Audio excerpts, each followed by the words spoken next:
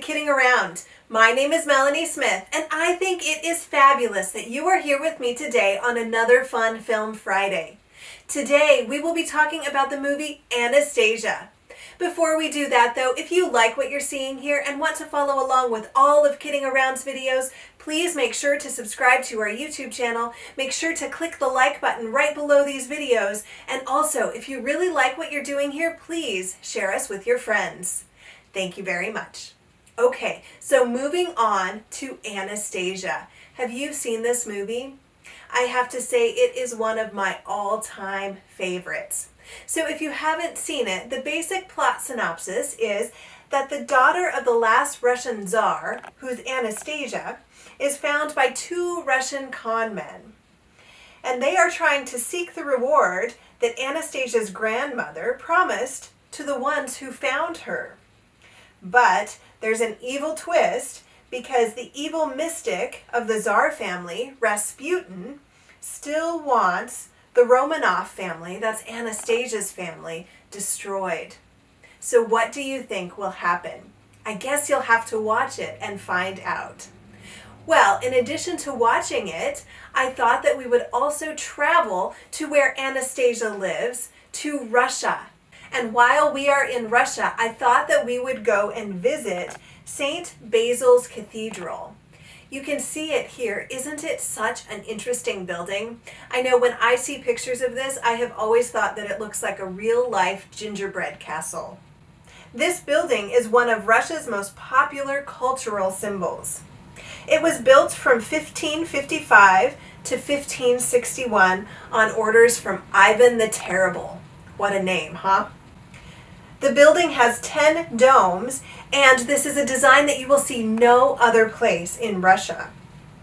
There's a quote in the book Russian Architecture and the West that describes the building with, quote, a strangeness that astonishes by its unexpectedness, complexity, and dazzling interleaving of the manifold details of its design. So clearly, this building is a one in a million type building. In addition to its unique architecture, I'm sure that you also noticed the colors on the building as well. Those colors were applied on the building in several stages from the 1680s to 1848. The original color scheme was much more traditional, but the Russian attitude towards color changed in the 17th century in favor of these bright colors. I think it is the combination of the colors and the unique architecture that make this building so special. This building that Anastasia would see if she were in Moscow, Russia, is so special that I thought that we would try to recreate it or at least a portion of it. You can see here that I have made three of the domes of St. Basil's Cathedral, and that's what we will be doing together here today.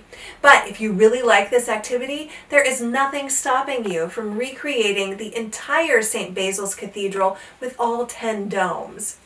But let's go ahead and get started on our first three. And to do that, you will need a few supplies. You will need some toilet paper or paper towel tubes. Two should be about the same length or height, they will be height, and one should be a little bit longer or taller. Hi everyone, it's me here from the future to let you know that I just made a little mistake. I'm also here to let you know it doesn't matter too much, but I want you to know so that it all makes sense at the end of our video, and also so you can decide how you want to do your final project. So I told you that you needed two paper towel or toilet paper tubes that were the same length and one that was a little bit taller. Really, what I should have said was you need two paper towel tubes or toilet paper tubes that are the same length and one that's a little shorter. The reason that I should have said these lengths is because I based this model off of an actual picture that I saw of St. Basil's Cathedral. This one is just as fun, but it's a little bit less accurate. So it's up to you whichever one you choose. I will say that as long as you vary the height somewhat, so you have short and tall or you have taller and shorter here, it will make for a more pleasing end result so as long as you vary the heights, you are good to go. You decide if you do two short and one long or two long and one short. It's your call. If you don't have toilet paper or paper towel tubes handy, you might check and see if you have some wrapping paper. Quite often in the center of wrapping paper is a long tube that you could cut down to these heights that you need. All right, you will also need a pair of scissors, a hole punch, a pencil, a ruler. You might not need the ruler. We'll talk about this as we go on. Uh, you'll need some masking tape. You'll need some of these fasteners. We used to call these brads. I don't know if they're still called that, but those are fun to use. Uh, you will also need a few beads. These will be the tops of the spires on your domes. You will need a glue stick.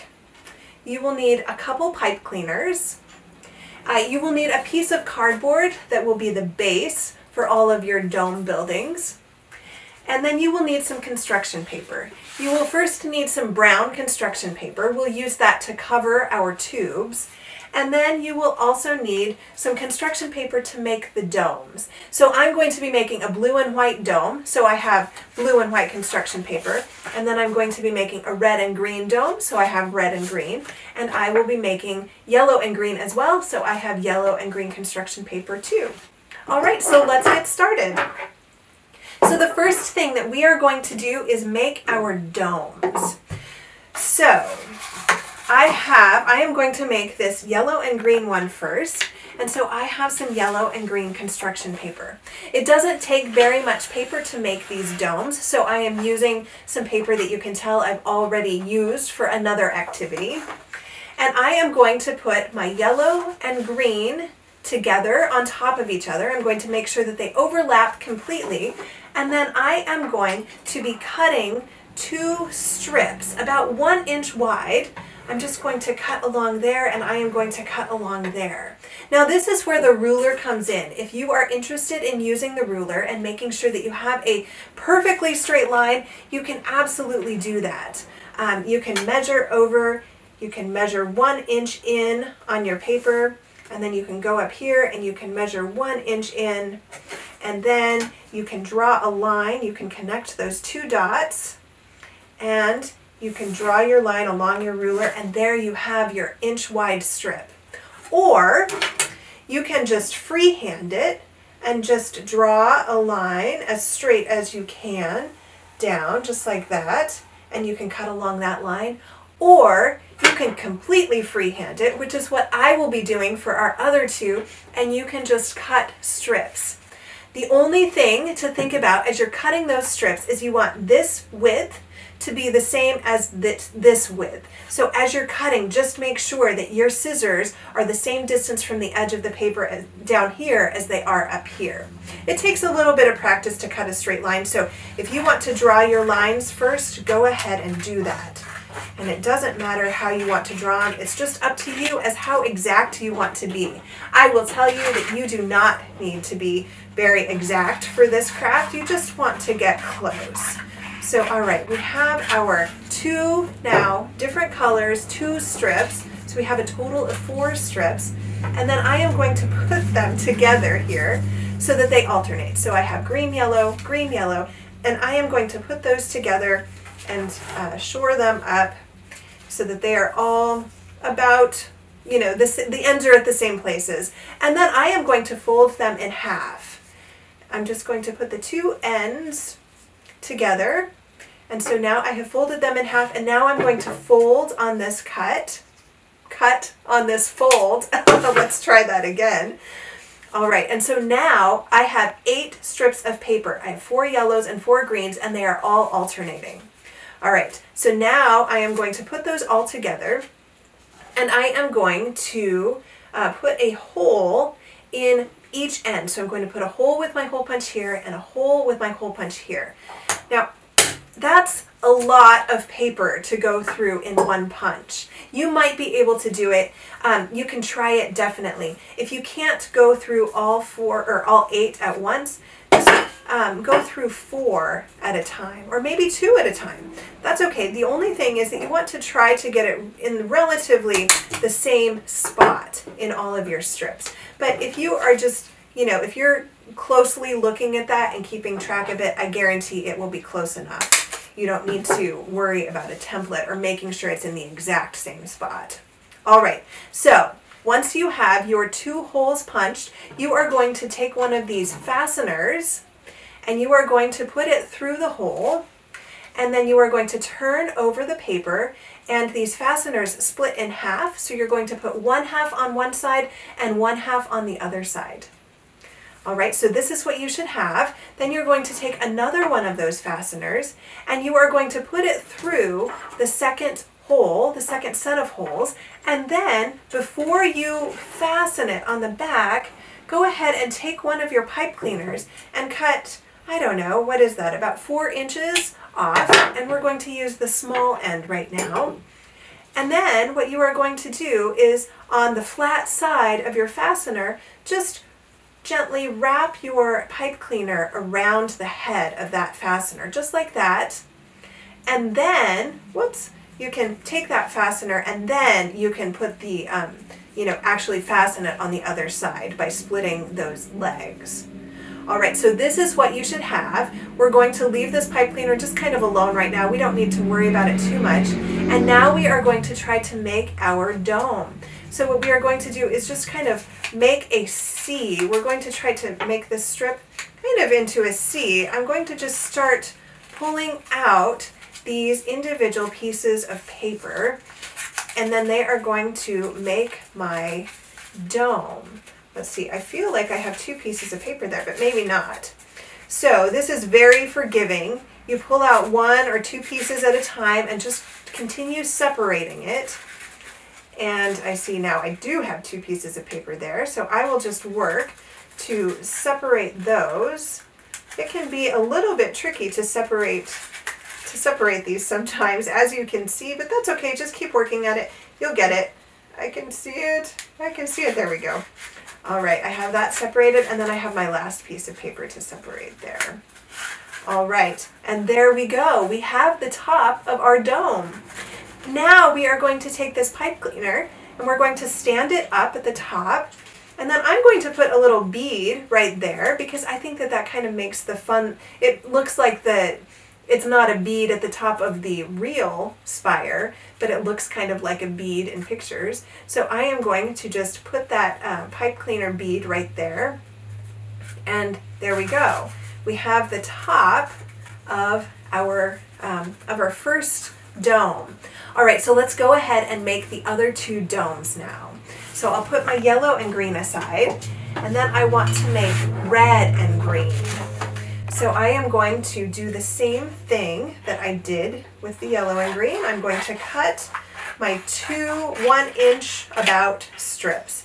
And you can see I am just eyeballing this. There's nothing exact about it. I'm just trying to get them about the same size. All right, then I can put this red and green away. And then I am going to put them all together, fold this and then I am going to cut on the fold, not fold on the cut, right? Okay, and then I am going to hold these all together and I am going to punch a hole. Ah, that takes some really strong hands. all right, and then I am going to do that same thing on the other side. Oh, you know what? Yeah, we'll go with it. Ah, oh my goodness. My hands are getting strong. All right, and then I will take my fastener and put it through and then open its legs on one side and then I will put this fastener through and then I am going to cut my uh, spire from my pipe cleaner and I will kind of thread it around the top. My goodness everything's gotten away from me.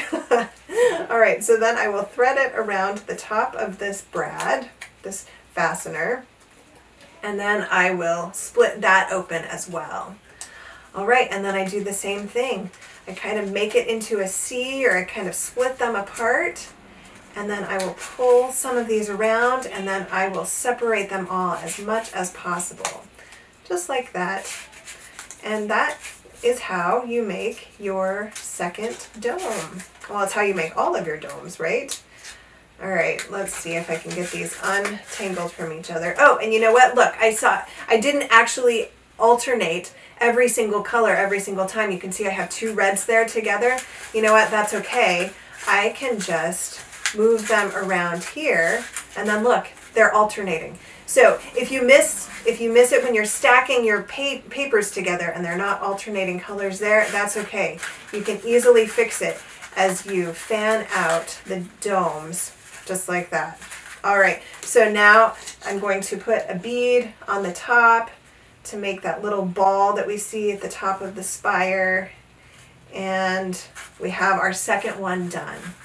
All right, so now I'm going to do the third one with the blue and white in very much the same way that I did those first two.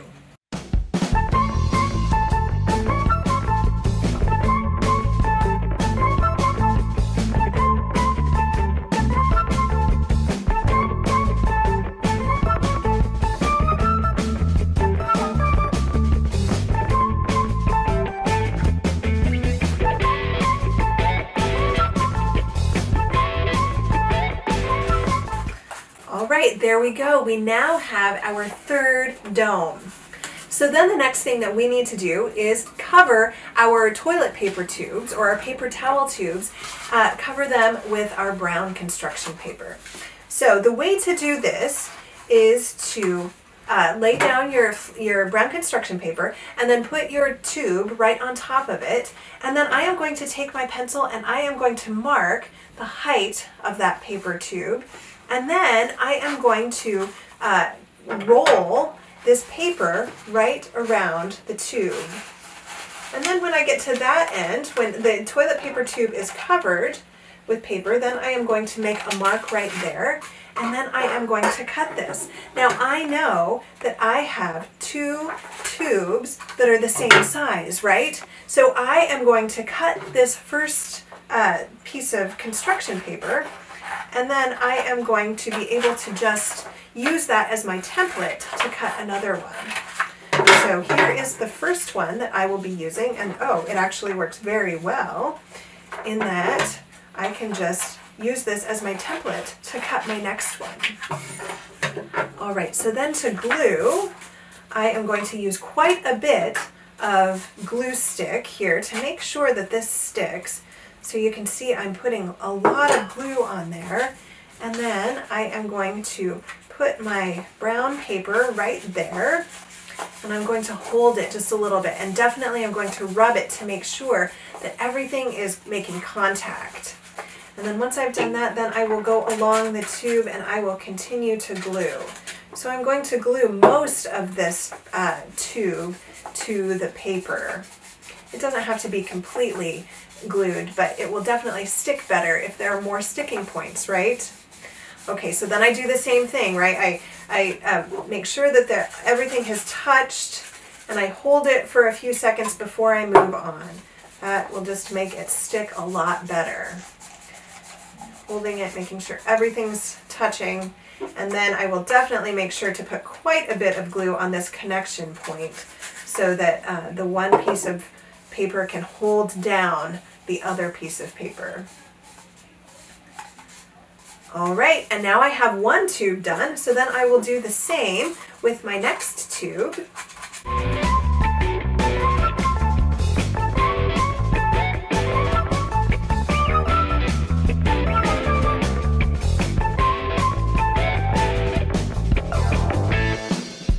So now I will do the same thing, the same type of measurement with my larger tube.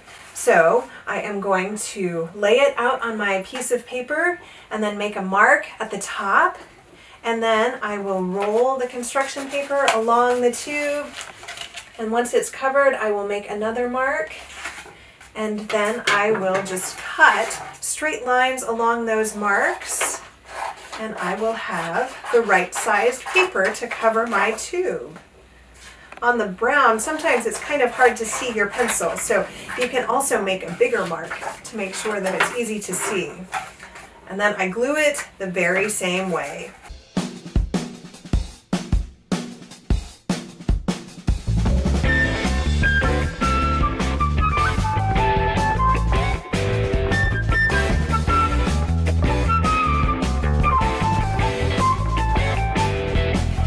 On this one, you might have noticed that I actually put the tube down on the table to use the table for help in making sure that the glue is um, touching every piece of this tube and every piece of this paper. If it's easier to do that for the shorter ones, go ahead and do that too. Use everything that you can to make it easier. So now we have our three covered paper towel or toilet paper tubes, and we also have our three domes, and we are going to put them together.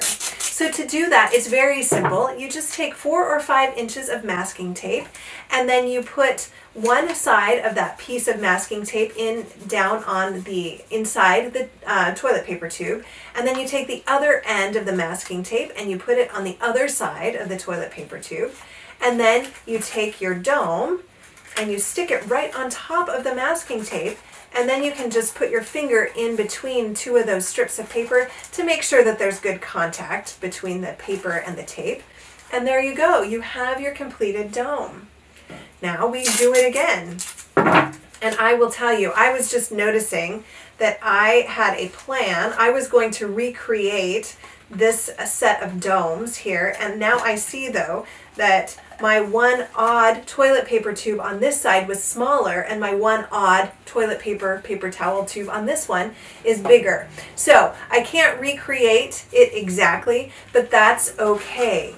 I am just going to roll with it because guess what? These are just used for inspiration. It doesn't have to be exactly the same, and I still think it's going to be very fun when I am done. So, you know what? You have to sometimes make modifications to your plan, and that's just totally fine. So again, I am just putting one side of the tape on one side of the tube and one and the other side of the tape on the other side of the tube, and then I am sticking my dome on top and is it exactly like this one? No, it's not, but that's totally okay. All right, so now we have everything stuck.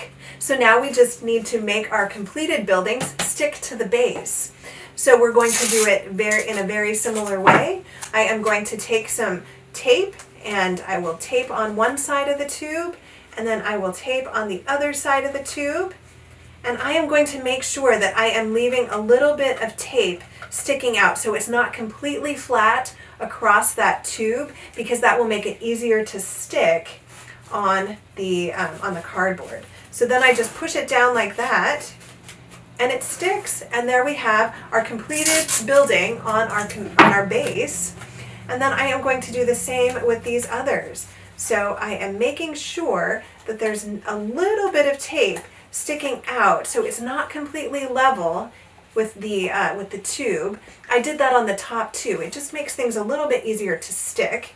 And then I just stick it down and there we go. And I will do the final one right here. So let's see, I'm running out of room here. All right, there we go. I'm going to put that tape inside. I'll put the other piece or the other side on the other side. Again, leaving a little bit sticking out. And then I will complete my piece of St. Basil's Cathedral. There you go. I would love to see pictures of your pieces of St. Basil's Cathedral. Please ask a grown-up to take a picture and put that on our Facebook site. Well, thank you so much for joining me today in talking about Anastasia and St. Basil's Cathedral. I hope that you have fun watching the movie after you have made your model of the cathedral that Anastasia would see if she were in Moscow, Russia. I look forward to seeing you at our next Kidding Around lesson. I can't wait to see you then. But until then, thanks so much for joining me. Thanks for kidding around with me. I will see you next time.